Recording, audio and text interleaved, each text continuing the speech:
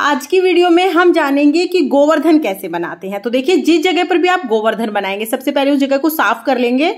उसके बाद हम गाय के गोबर से गोवर्धन बनाएँगे। सबसे पहले हम इस तरह से गोल गोल गोवर्धन महाराज का चेहरा बना लेंगे। उसके बाद हम धड़ बनाएँगे।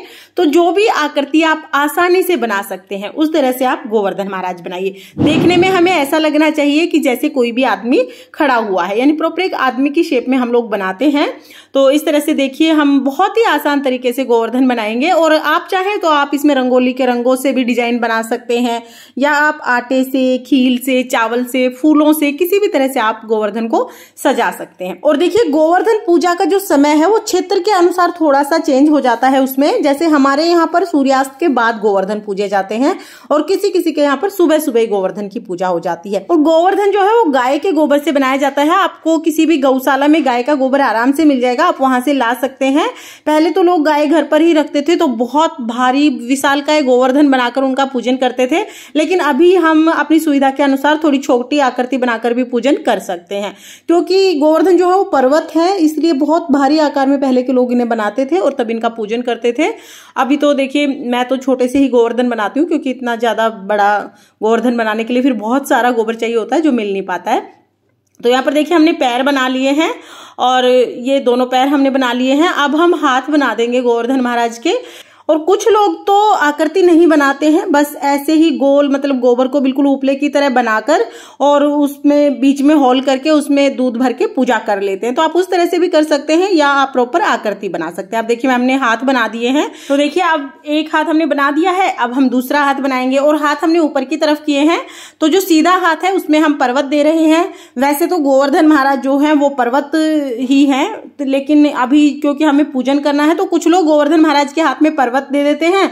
कुछ लोग गोवर्धन महाराज के हाथ में लकड़ी या डंडा वगैरह पकड़ा देते हैं। और इसके बाद देखिए, नाभि हमें बनानी है तो थोड़ी सी बड़ी हम इस तरह से नाभि बनाएँगे, क्योंकि इसमें दूध भरा जाता है। और अब हम गोवर्धन महाराज का मुकुट बना देंगे। तो यहाँ पर हमने मुकुट बना दिया है। अब हम गोवर्धन महाराज का फेस बनाएँगे, यानी आँख नाक बनाएँगे। तो यहाँ पर नाक मैंने बना दिया है। और देखिए, इसके बाद हमें आँखें भी बनानी है तो पहले मैं जनेऊ बना दूँगी, उसके बाद हम लोग आँखें बनाएँगे।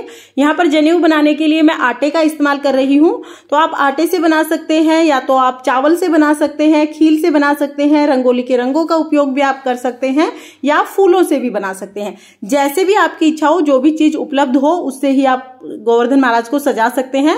इसके बाद देखिए, मैं तो आँखें बनाने के लिए यहाँ पर कोड़ियों का इस्तेमाल कर रही हूँ, क्योंकि बहुत अच्छी सी आँखें इससे बन जाएँगी, मुँह बन जाएगा प्रॉपर एक शेप आ जाएगी और ज़्यादा समय भी नहीं लगेगा। पूजा में जो आपने कोड़ी चढ़ाई है, वो नहीं लेनी है, अलग से ही कोड़ी आपको लेनी है, या तो आप चावल वगैरह से भी बहुत आसानी से आँखें बना सकते हैं। इसके बाद देखिए, हम मुकुट को सजा लेंगे तो डेकोरेशन आप जैसी भी आप चाहें, उस हिसाब से आप कर सकते हैं। यानी गोवर्धन महाराज को आप जितना अच्छा हो सके, उतना अच्छा आप सजा लीजिए, माला पहना दीजिए, मुकुट को सजा दीजिए, हाथों में कंगन आप पहना सकते हैं, पैरों में पायल पहना सकते हैं। तो जैसा भी आप सजाना चाहें, वैसा ही आप गोवर्धन महाराज को सजा सकते हैं। और देखिए, हमारे यहाँ पर तो जब गोवर्धन की पूजा करते करते हैं तो गोवर्धन महाराज की जो नाभि है, इसमें दूध भरा जाता है और किसी किसी के यहाँ पर अन्नकूट भरा जाता है।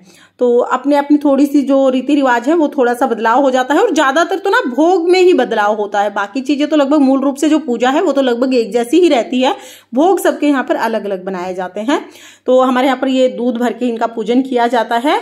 और उसके बाद देखिए, शाम को सभी लड़के हमारे यहाँ पर गोवर्धन पूजते हैं, महिलाएँ नहीं पूजती हैं।